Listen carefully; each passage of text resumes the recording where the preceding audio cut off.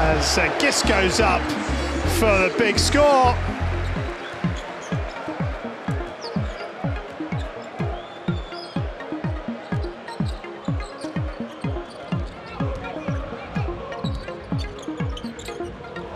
There you go, there's the alley-oop we were talking about, Gist on the end.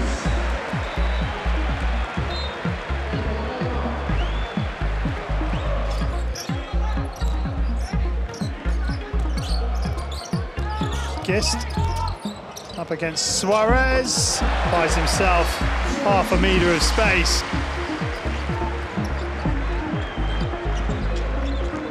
Calathes Oh, ah, and they finish on a three-pointer. Harsh.